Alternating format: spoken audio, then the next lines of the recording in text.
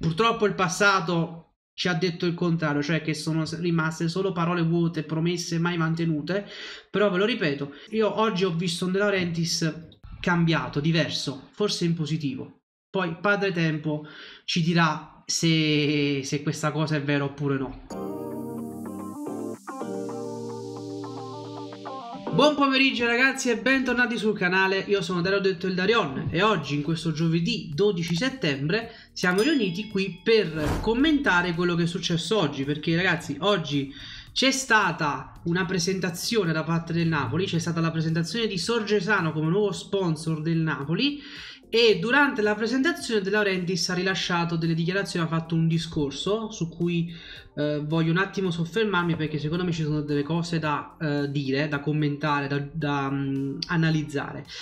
Detto questo, cominciamo subito e partiamo con Sorgesana. Oggi c'è stata la presentazione, una presentazione che in realtà non era una sorpresa, ok? Perché nelle ultime ore in realtà si era sparsa un po' questa voce sui social di Sorgesana nuovo sponsor, quindi non è stata proprio una sorpresa incredibile. Comunque oggi abbiamo avuto l'ufficialità, eh, Sorgesana sarà eh, un nuovo sponsor del Napoli e sarà uno sponsor eh, che vedremo sul retro della maglia, più precisamente sotto il numero di maglia. Eccola qui ragazzi, a me esteticamente piace molto così. Mm, c'era il, pe il, pericolo, tra virgolette, perché per me era un pericolo, di vedere Sorgesana con la patacca blu sullo sfondo della maglia azzurra, stile lete, però col colore blu invece che rosso.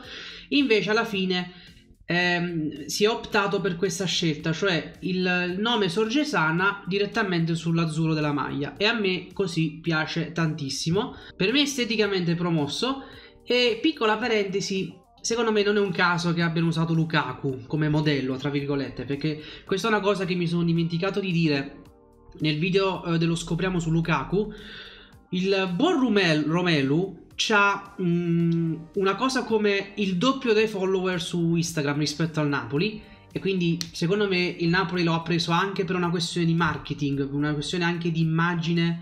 Comunque vai a prendere un giocatore che è conosciuto, eh, lui è anche mi pare partner con Adidas, quindi è un giocatore comunque che ti può dare una copertura mondiale importante e quindi secondo me hanno, è stato molto azzeccato diciamo, fare questa presentazione con Lukaku che appunto ha questa copertura che è il doppio rispetto a quella del Napoli. Quindi c'è stata questa presentazione di Sorgesana marchio che in realtà collabora con Napoli da molto tempo perché Sorgesana è sempre stato un, diciamo, un brand che ha collaborato con Napoli però fino a qualche anno fa era Lete diciamo l'acqua ufficiale del Napoli. Da quando poi è finita la partner con, Lete si è passati a Sorgesana. Quindi chiusa la parentesi Sorgesana adesso andiamo a commentare un po' quello che ha detto De Laurentiis.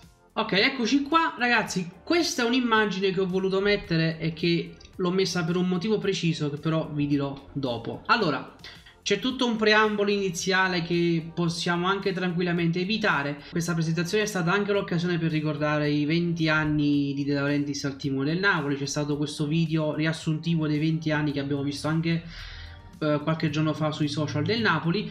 Finito quel video è cominciato un discorso di De Laurentiis che poi è stato il discorso che ha chiuso la presentazione. Apre questo discorso facendo un bilancio su questi primi vent'anni e dice bilancio ultra positivo.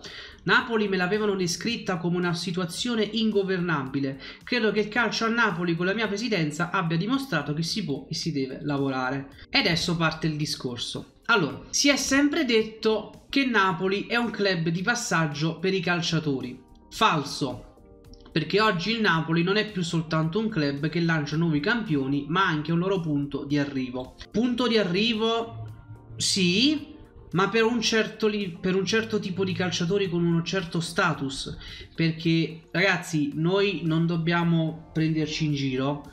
Noi non possiamo metterci sullo stesso piano di Real Madrid, di Barcellona, di Bayern Monaco, di Manchester City, eh, del Manchester United. Non so se, se in futuro riusciremo ad arrivarci, però sicuramente oggi non siamo a quel livello. Quindi giocatori che hanno uno status importante, giocatori che possono diventare dei fuori classe, tipo Kvara, non possiamo dire per esempio che Kvara considera il Napoli come un punto di arrivo, perché non è così.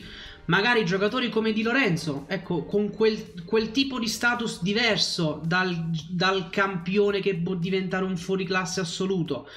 Per certi tipi di calciatori possiamo dire che Napoli è un punto di arrivo, per altri, quindi per giocatori con uno status di primissimo livello, purtroppo non possiamo parlare di Napoli come eh, meta. Campioni affermati vogliono venire a giocare nel Napoli. Uno dei migliori allenatori del mondo ha fortemente voluto il Napoli, cioè Conte.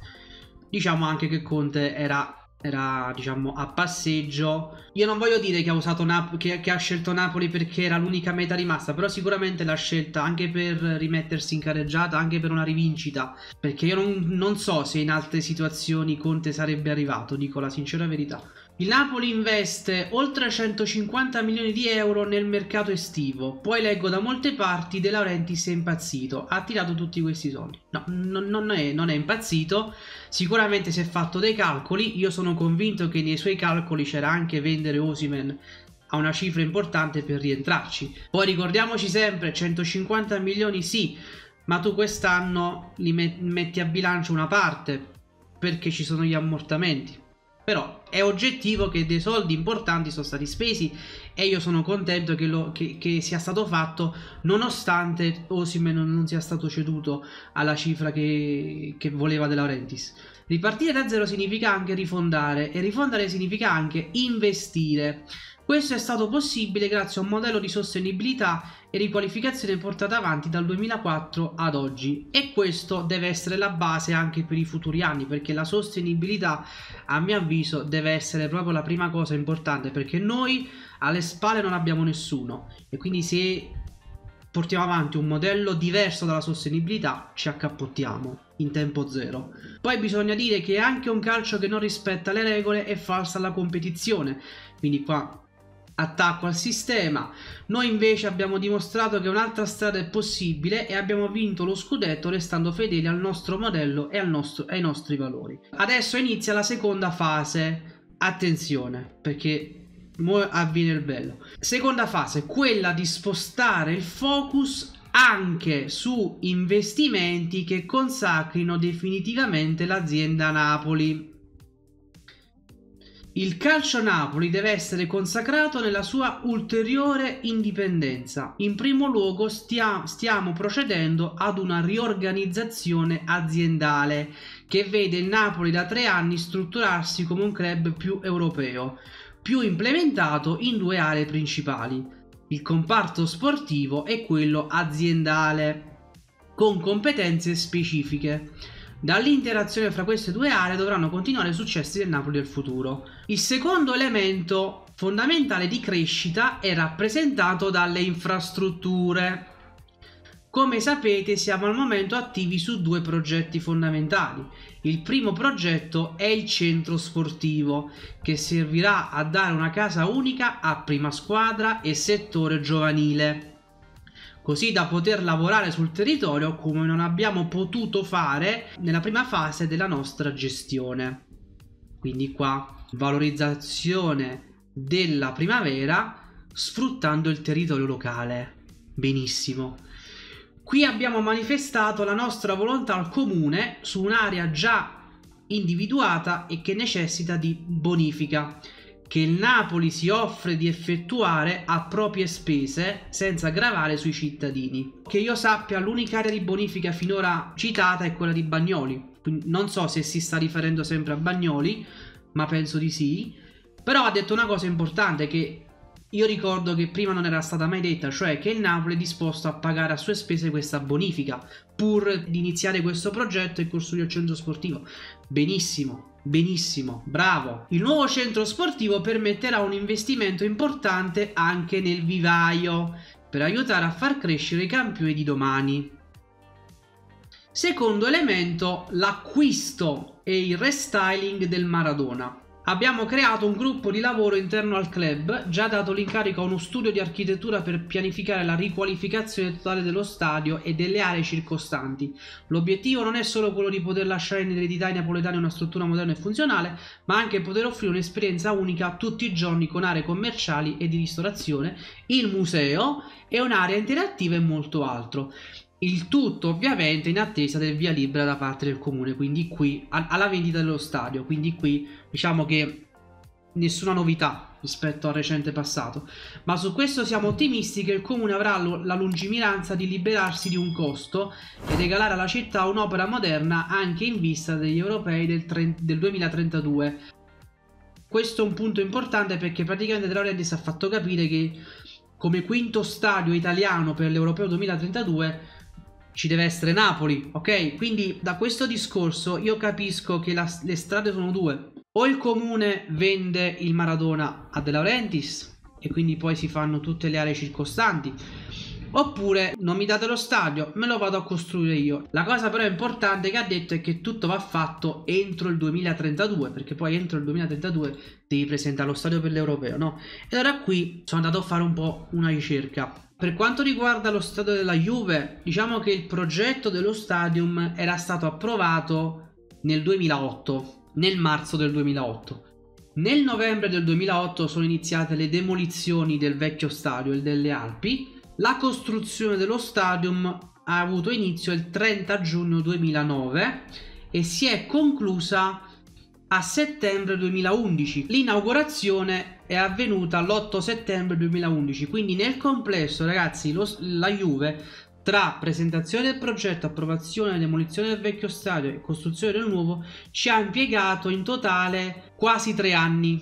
Ok, marzo 2008, settembre 2011, quasi tre anni. Quindi ragazzi se vogliamo prendere come metro di paragone lo stadium della Juve ci vogliono all'incirca tre anni. Facciamo caso che tu lo stadio lo inauguri nel 2031, ok? Per, per stare tranquilli, per non, per non, arrivare troppo sotto sotto con la data dell'europeo. Il tutto deve iniziare quantomeno nel 2027.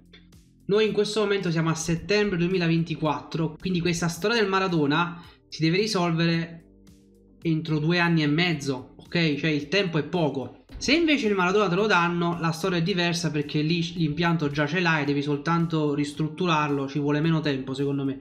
Però il riassunto di tutto questo è che comunque i tempi non sono ampissimi. Arriviamo ora al terzo elemento, che è quello del processo di ulteriore internazionalizzazione del club.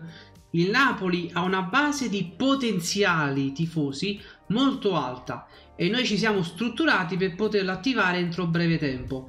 Qui abbiamo lanciato o stiamo per lanciare nuovi progetti chiave di connessione con la nostra fanbase globale. Davanti a noi vedo un futuro ricco di sfide, di nuove opportunità da cogliere nel breve termine. Avremo l'incredibile vetrina del nostro centenario e siamo pronti a stupirvi con effetti speciali degni dei nostri migliori film. Anche se sono il presidente del Napoli da vent'anni, per quanto mi riguarda lo spettacolo è appena cominciato. Posso, prometter, posso promettervi che il Napoli, fin quando sarà gestito da me e dalla mia famiglia, non indietreggerà mai al cospetto di comportamenti ostili e predatori da parte di interessi privati. Allora, ragazzi, praticamente tutto questo discorso che vi ho fatto finora è esattamente quello che io avevo chiesto qualche giorno fa nel video, quello là dove il titolo era Caro ADL, ti chiedo solo questo nei prossimi vent'anni. Cioè, ha detto esattamente quello che io ho chiesto due giorni fa nel video, cioè valorizzare la primavera, sfruttando anche il territorio locale cioè, per farvi capire, no, ragazzi, una piccola parentesi. C'è l'Empoli che ha gli scout in campagna e si prende i giovani talenti de- dei club in campagna e non lo fa il Napoli. Non è possibile. Quindi, valorizzazione dei giovani della primavera tramite il territorio. Costruire il centro sportivo come casa sia per la prima squadra che per la primavera. Lo stadio con annesso aree, di, aree interessi, so, i centri commerciali, il museo, mo la butto lì, fai i matrimoni dentro il Maradona come fa il Barcellona col Campo Nuovo, per esempio, no? Un'altra idea, mm, per esempio sullo stadio, questa forse a qualcuno non piacerà, però per esempio accostare vicino al nome uno sponsor. Per esempio il Camp Nou del Barcellona si chiama Spotify Camp Nou e lo Spotify ti, ti paga una barca di soldi per mettere il suo nome vicino allo stadio. Fa parte di quelle cose che ti può aiutare con gli incassi, ok? Ci sono tante cose che potresti fare sullo stadio, però il, il senso di tutto questo discorso è che De Laurentiis ha detto esattamente quello che io spero che faccia nei prossimi vent'anni, cioè adesso il Napoli deve fare il passo in avanti sulle infrastrutture e poi la cosa importante è continuare il processo di internazionalizzazione del club. Una cosa secondo me che potrebbe essere fatta è quella che fa la Juve. La Juve nelle cose positive va va seguita e va emulata. La Juventus ha creato il Creator Lab, cioè questo mondo dove eh, prende i creator più importanti, diciamo, del mondo per fare delle collaborazioni e quindi in questo modo tu aumenti la fanbase, aumenti i follower sui social e quindi potenzialmente sono nuovi tifosi che tu ti vai a prendere in giro per il mondo, ok? A me fa piacere che sia, che sia stato fatto questo discorso perché è esattamente quello che io avevo chiesto. Ora qualcuno dirà, eh ma sono sempre le stesse cose che va dicendo da mesi, da anni, non ha detto niente di nuovo fa sempre queste promesse che sono vent'anni che non mantiene. Posso essere d'accordo con queste considerazioni, è vero, perché De Laurentiis in vent'anni ha, ha fatto tante promesse sullo stadio, il centro sportivo, ma non le aveva mai fatte. Però voglio dire una cosa e mi collego alla foto. Io mi sono seguito l'evento in diretta, quindi il discorso che vi ho letto prima l'ho seguito in diretta. De Laurentiis chiude questo discorso dicendo una cosa importante, cioè da parte mia c'è sempre la volontà di costruire. Questo a tutela sia dei calciatori che spesso vengono intrappolati in situazioni che ledono in primis loro stessi, quindi sta parlando dei procuratori, soprattutto dei nostri tifosi sparsi in tutto il mondo. Il nostro più grande orgoglio è stato quello di vincere rispettando le regole e le persone. Continueremo sempre a competere con questi principi. Vent'anni fa dissi che il mio primo obiettivo era quello di rilanciare la città di Napoli anche attraverso il calcio. Oggi Napoli ha riconquistato un'attenzione globale anche grazie al nostro supporto. E in merito a questo voglio dire una cosa molto veloce.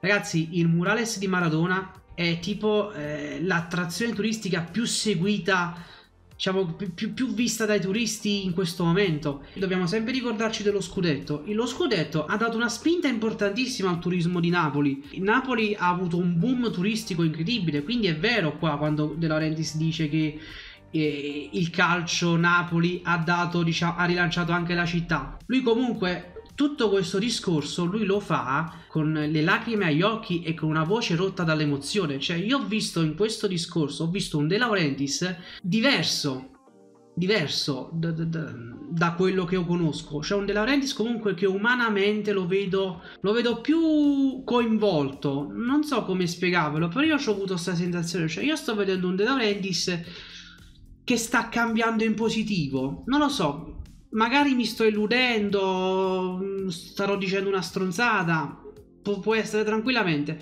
Però io quando ho sentito questo discorso e quando ho visto De Laurentiis emozionarsi, non lo so, io dentro di me ho detto mm, De Laurentiis sta cambiando. Poi ovvio, cioè tutti questi bei discorsi vanno confermati poi coi fatti. Dalle parole bisogna passare ai fatti e questo è la base.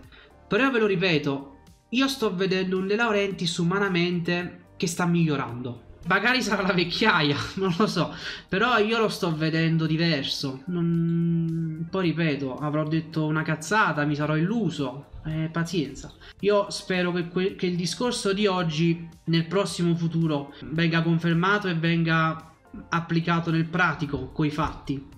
Quindi facciamo il centro sportivo, facciamo lo stadio entro il 2032 o comprati il, comprati il Maradona, non lo so, vedi tu. Io penso che lui voglia comprarsi il Maradona e fare il centro sportivo a Bagnoli perché logisticamente sono vicini, Bagnoli e Fuori Grotta. Io penso che voglia fare così. Facciamo il, fa il vivaio, facciamo ragazzi il vivaio. In 20 anni è uscito fuori solo Insigne. Io questo lo continuerò a ribadire fino alla noia. Valorizziamo i giovani perché quella è un'altra fonte importante che ti può portare a degli incassi. Purtroppo il passato ci ha detto il contrario, cioè che sono rimaste solo parole vuote, promesse mai mantenute. Però ve lo ripeto, io, io oggi ho visto un De Laurentiis cambiato, diverso, forse in positivo. Poi Padre Tempo ci dirà se, se, questa cosa è vera oppure no. E quindi ragazzi il video finisce qui, fatemi sapere un po' la vostra nei commenti, lasciate un bel like se il video vi è piaciuto, iscrivetevi mi raccomando che è totalmente gratis e attivate la campanella. Stimo tutti quelli che sono arrivati qui fino alla fine eh, sentendosi tutto il video. Forza Napoli sempre, noi ci vediamo domani con la conferenza di Conte pre-Cagliari Napoli e niente, buon, buon giovedì a tutti, ci vediamo domani. Ciao!